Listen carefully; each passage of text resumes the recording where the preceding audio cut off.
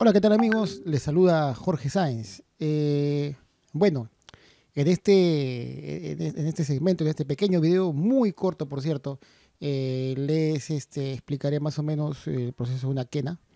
Esta quena tocado por el gran Checho Cuadros, eh, quenista peruano, para los que no lo conocen. Ha tocado con diversos y grabado con diversos artistas muy conocidos, incluso ahora último también con el gran Tony Zucker. Así que estamos hablando ya de un top, ¿no? Y este pequeño cover que hizo de Daniel Alarcourt, eh, de su tema más emblemático probablemente, eh, el cual vemos que está muy bien grabado desde arranque. Cuando veamos este, unas ondas muy disparejas, muy dispares, quiere decir entonces que no hay buena dinámica, ¿no? En este caso sí hubo una buena dinámica. Obviamente hay partes que son más suaves que otras. Por ejemplo, escuchemos.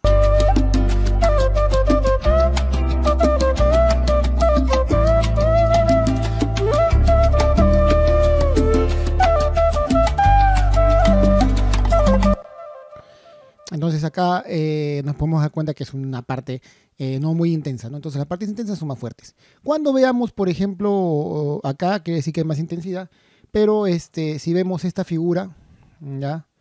Entonces no conviene mucho comprimir, sino conviene hacer lo que dice ahorita, eh, el llevando, pero sería al contrario, ¿no? Bajándole algunos decibeles. Vamos a poner control Z, supongamos que estamos bajándole así.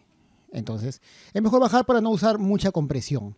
En la compresión, bueno, pues eh, uno puede eh, eh, equilibrar un poco la dinámica de ese instrumento, pero si lo hacemos mucho, siempre hay un color que mete la compresión que no es muy agradable, más que nada si no es este, digital. Entonces acá un menos 11 de threshold y un 3 de ratio, un 2 de ataque está muy bien, ¿no? Y 50 milisegundos de release.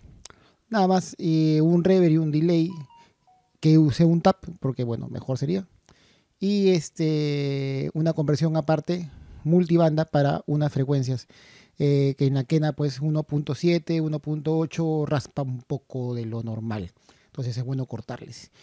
Eh, micrófono para grabar vientos, para grabar quenas y zampoñas, SM58, yo lo recomiendo. SM57 también es bueno, pero el 57 este, capta mucho el aire. Entonces el 58 tiene una, construcción por dentro, unas energías más pequeñas que va a aguantar un poco, soportar un poco ese, ese viento que obviamente pues el soplido eh, lo va a captar.